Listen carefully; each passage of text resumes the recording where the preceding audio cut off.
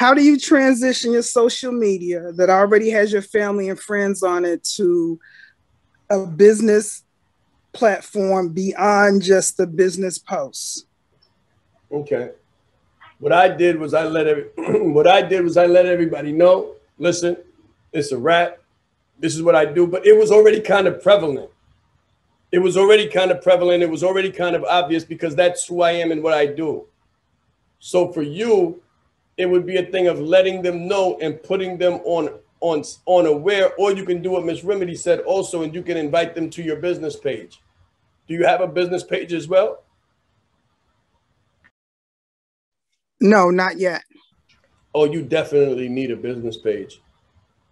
You definitely need a business page, and that's your first line of separate. That's your first um separation point or your line of demarcation. If you're going to be the, the type of entrepreneur who keeps family, family, and business, business, then you need a business page. If not, you're going to be in conflict when you try to do business from your personal page, and all of your friends are like, "Oh, but this is what's going to happen too, right?" If you try to sell your friends and your family, are going to be like, "Oh, you're always trying to sell me something.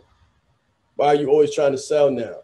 You understand? So everybody doesn't understand this entrepreneur life, and it's okay but I kind of leave employees in an employee state. Like I leave employees with employees, and I try to keep entrepreneurs with entrepreneurs, so that the, because the never the twain shall never meet. So if they don't understand, they won't understand. Does that make sense? Been there, done that. Got a T-shirt for it. okay, then you already know it's good. Listen, there's going to be hurt feelings. Get ready for that.